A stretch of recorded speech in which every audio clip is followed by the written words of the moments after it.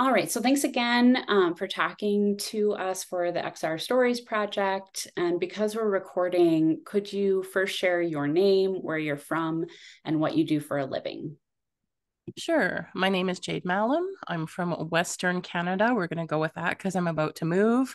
And I'm an accessibility consultant, advocate, and public speaker. Uh, I'm also a Caucasian woman in my late 40s wearing a colorful headscarf and a green shirt for anybody who doesn't have a visual. Great. Thank you for describing that. Um, if you also feel comfortable sharing, could you give our listeners and viewers a little context about your disability or disabilities? Sure. So I live with multiple disabilities, but the ones that are worth mentioning impact my day to day life in more extreme ways. So to start, I have severe arthritis. I have severe arthritis in my cervical spine, to be specific. It's from C7 to C1 for those who are in the know. Uh, and that means that every day of my life, I have a headache that's at least six on the pain scale. It impacts everything that I do. I always need to support my neck. Any wrong movements causes the pain to spike. And then I can't function for days afterward. It also means that I'm living with chronic pain, which is actually a number one disability in Canada. That pain also causes pain insomnia for me, which is a type of insomnia where the pain prevents me from sleeping. I function because I must, but I can feel my brain slowing down with each sleepless decade or year. and uh, I'm neurodivergent. I have ADHD and I'm autistic. So the way that I exist in the world is not considered the norm. I'm using big air quotes there. I have a lot of comorbidities that come with it as well, which basically means a grab bag full of not so fun conditions such as dyscalculia, executive dysfunction, sensory processing disorder, etc. I have Tourette syndrome. At this stage of my life, it's not affecting me as much. Since COVID, I spend most of my time at home, so others don't notice my tics. I don't have to suppress them as much, so they're less bothersome.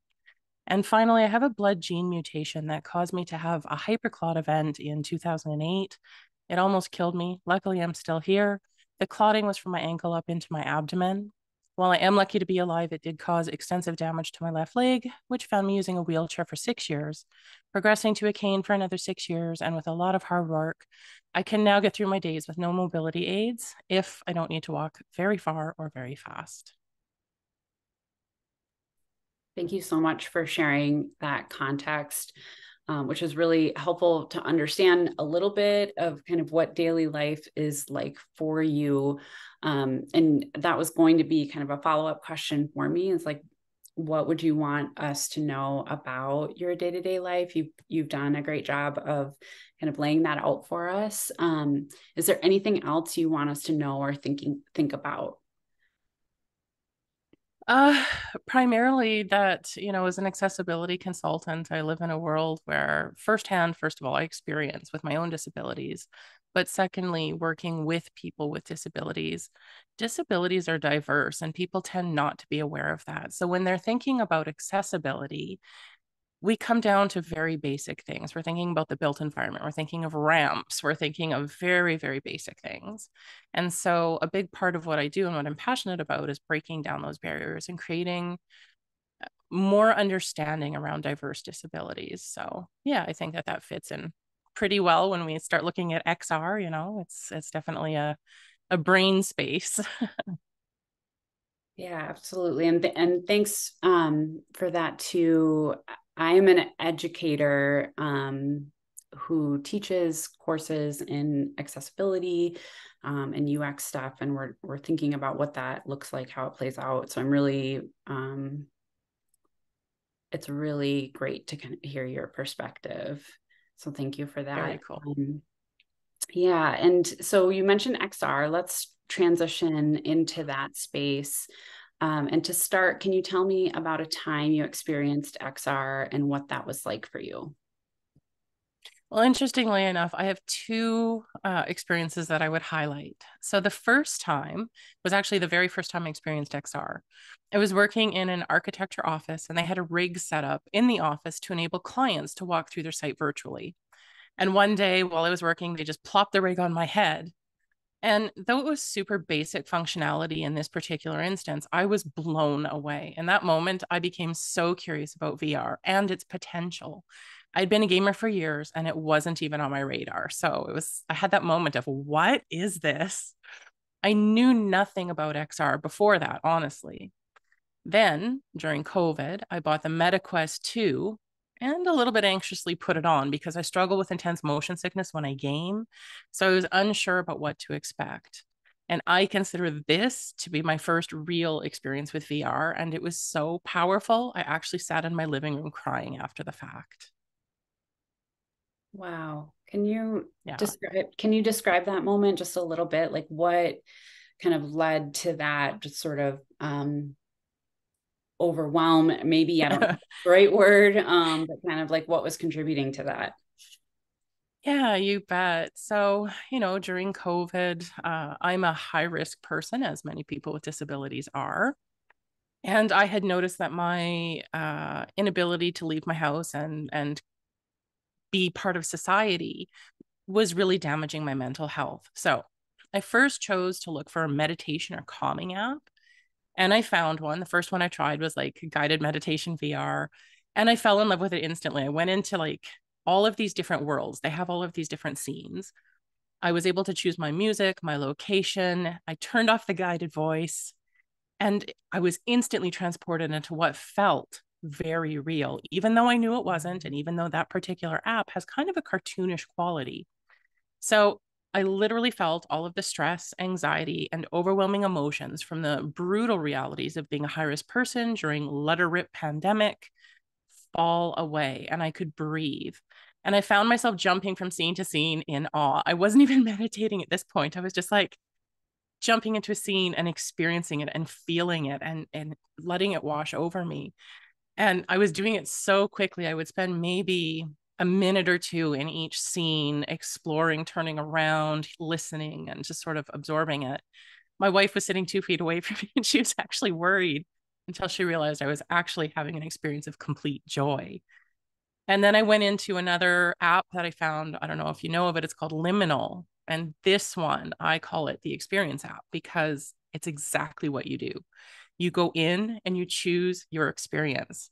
You choose how you want to feel it gives you that experience and it's mind blowing. It's still my favorite app today. And I love that they're developing it more into working with mental and physical health and well being. So for me, having that that momentary like i don't want to use the word escape but it, it is but it's not right like it's a little bit weird it's kind of a middle ground i guess yeah definitely and um i'm wondering too based on these couple of experiences that you've described. You said one brought you complete joy. Um, there's maybe the sense of escape in another way. Um, so seem it seems like um, generally positive experiences um, and just kind of like this new world that maybe you didn't know you had access to, um, if I'm understanding that correctly. Oh, yeah. Um, I'm wondering um, if you've reflected on those experiences since they've happened um, that cause you to think about like what could be possible like how do we build on those things what are some areas of growth or like gaps in this sort of technology yeah you know I think that there are a lot of gaps in the technology still. Some of them are within the applications and some of them are within the system itself. So, for example, Quest itself could use a lot of work on accessibility features. Not all of their games are playable from a seated position, and very few will let you lie down when you play. I need support for my neck. So, usually when I'm playing, I'm sitting or lying down. And it's always disappointing when I can't do that. It's a virtual world. I should be able to adapt the game so that when I'm laying down, it orients itself to my position and adapts within the game. If I'm lying on my back, adjust that in the in game position so my feet are where the ground would be so that I'm upright in the game. That would be epic. And most of the sitting games will allow you to walk around in the game with the controllers while your physical form is sitting still but many of them don't allow you to turn around. So you can't spin around and see everything that's behind you. So sometimes I cheat and I use my computer chair so that I'm fully supported and I spin around in that. But I want to be able to do that when I'm lying down. So for me, that's a really big feature that's missing. I also found, you know, a lot of lacking within apps, right? So, you know, a lot of them don't have closed captioning and they need to. So, one of the things I, I, talk about Liminal a lot because they've done a lot of things right. If you choose a storytelling experience, a lot of them have closed captioning when it's telling the story, which I really like. Now, I know a lot of people don't need it, but the thing that needs to be recognized is that it's not only for the hard of hearing, which I am, it's also for people who are neurodivergent, for people who maybe don't speak English as their first language, et cetera, and so forth. It is actually, I talk about universal design a lot in my job.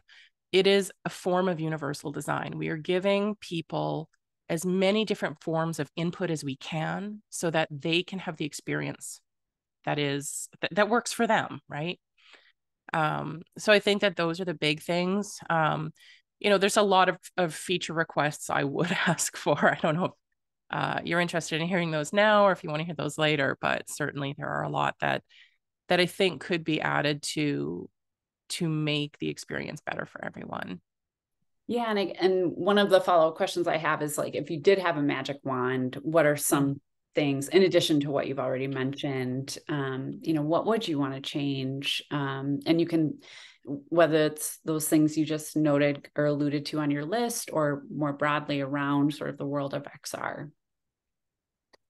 Yeah, you know, if I had a magic wand, first thing I would do is make the units more affordable and accessible.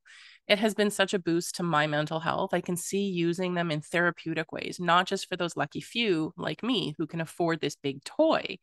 I think the ultimate potential for XR is to move into that territory, total inclusivity in features and price. So more people can actually reap the physical and mental benefits. You know, I, I think we need to think about XR as more than just a game. We need to move into developing it as such. Yes, keep the games. They're fun and they're awesome. They're great for stress relief and all sorts of things. No problem. But I do want to see more health and mental health applications too and ensuring that people with diverse disabilities can use enjoy and benefit from them you know bring on as much accessibility as we can dare to dream with us right? Like don't leave people with disabilities on the sideline. We get enough of that in the built environment. Virtual environments are virtual for a reason. It it takes away the barriers and the limitations. And you know for people who have physical disabilities, it allows us to walk and run and jump and whatever. For people, you know, for me, uh, you know, I was able to start playing some more physical games for my um, for my my physical benefit, my health benefit. You know, I popped into a game called Supernatural, and that thing, if you've never seen that game, it will kick your butt in every way, shape, and form it's basically a bunch of flailing around at things that don't exist. Um, but the beauty in it is that I can do that, you know, where maybe in the real world, it would be a lot harder. You know, I'd have to find my way to an environment where I'm doing that and I'd have to have the equipment and it's it's a lot, you know, and um I think the whole point in my mind to VR is to remove the barriers, to give us the experiences maybe we can't have in the real world. And I think that that's where the impact comes for me. Yeah, absolutely. And so, in addition to what you've shared here, um, and let's say, you know, your magic wand did work and we kind of went beyond the games, right? Which are still cool and important. Um, but we thought more intentionally around health and mental health and how we sort of integrate um, those things into the space of XR. What would that mean for you? Freedom. I know it seems like kind of a strange response, but freedom. Um, there is a special space for many people with disabilities. And of course, I can't speak for everybody, I can only speak to my experience. Where I've spent my whole life assimilating, whether it's my neurodivergence, whether it's my Tourette syndrome, whether, you know, whatever, right? As far as neurodivergence goes. And then my, you know, it takes so much energy, time, um, and thought to constantly control my brain in order to assimilate, to appear to be the norm, to be accepted. And then we talk about physical spaces, right? Physical disabilities. I wasn't disabled my whole life physically. I didn't have a wheelchair until 2008. It was a very rough awakening when I landed in that wheelchair. And very quickly, I needed to go from a space of mourning into acceptance. And not only that, but to acknowledge, well, to realize and acknowledge that wheelchair wasn't a prison. A lot of people talk about wheelchairs in very negative ways, confined to a wheelchair, restricted to a wheelchair, when the reality is that wheelchair gave me my freedom to go back in the world. Without my wheelchair, I couldn't do that. I was bedridden. They put a wheelchair under me, and all of a sudden I was able to get back out in the world. So it's about thinking about things differently. I spend my life thinking about things differently. And it's good but also it's exhausting to always need to do that. So the idea of having these worlds where we can fully participate and fully enjoy is to me honestly the the the biggest goal that we could look look toward for for VR and you know XR of all types you know incorporating more abilities for people to be stationary play laying down to not have to move their body through space, to not have to hide their their tics, their quirks, their neurodivergence. I like to call it neurospiciness. And just having more descriptives in the games, for example, right? Like thinking about one of the biggest things I've noticed on the on the um the quest is they don't have any uh, notifications. This game causes nausea. Nausea. This game allows you to play lying down. This game has captions. There's none of that, and there's no search engine, so I could look for games I can play when I'm lying down. Games that have captioning. None of those things exist in the quest, but they do exist in some of the games. Like the app makers have created that, which is good.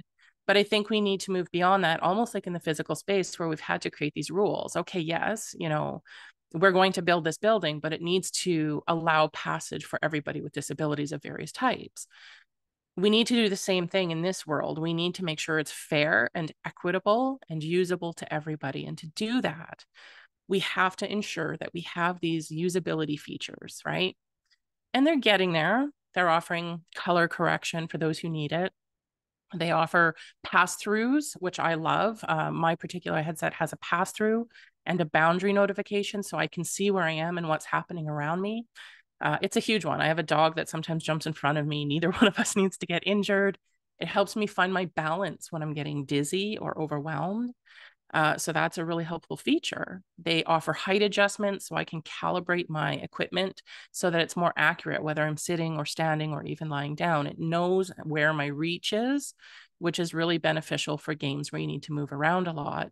And they finally recently introduced some audio balance to help tweak the volume, which is excellent. I have more hearing in my right ear than my left. So tweaking that sound is a nice touch. But these to me are just beginnings. This is like in the built environment, adding a ramp. It's the bare minimum. Like, you know, and we need to push beyond that. So telling app makers if you want your app to be in the system, you need to make it accessible. You need to have specific features and push at those boundaries. Yeah, thank you. Um, so you've shared so much um, insightful and powerful. Thank you so much. And um, those were the major questions I had for this interview, except for one, and that is um, if there's anything else you would like to share about your experiences that we haven't covered yet, maybe I missed, um, or anything else that didn't come up in the questions today. I think we covered the basics. You know, I think it's been a life-changing journey for me to get to experience VR and and the disappointment I feel when something doesn't quite work because of a little, you know, functionality feature. Um, it's really frustrating. But when I get to escape into that world, um, I feel everything shift. My whole mind, my mood, everything shifts, you know. And um, I just wish everybody could have more of that experience, no matter their disability, no matter their income, etc. Okay. Well, thank you so much. Um, I am going to stop recording here. If I can find the record.